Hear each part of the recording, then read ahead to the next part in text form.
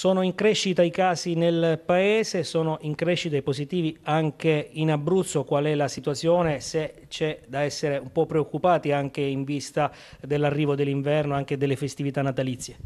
Sì, è vero, abbiamo un aumento di casi nella nostra regione, devo dire anche un aumento esponenziale, ossia ogni giorno abbiamo un numero maggiore. Questo vuol dire che bisogna riporre ancora più attenzione alle vaccinazioni. Abbiamo aperto la piattaforma per la terza dose, vedo che c'è anche una buona richiesta e quindi questo è un punto a vantaggio.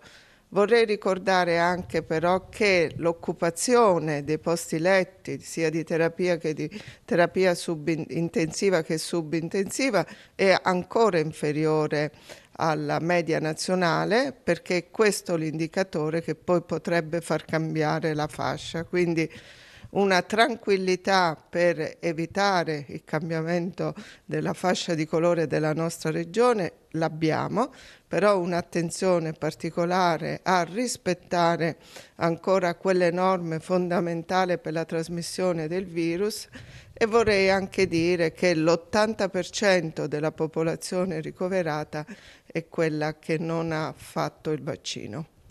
Prosegue la vaccinazione anti-Covid con le terze dosi, ma è iniziata anche la vaccinazione anti-influenzale. Sì, dall'11 ottobre è iniziata la vaccinazione antinfluenzale, la vaccinazione è gratis per gli over 60 e per i bambini dai 6 anni in su.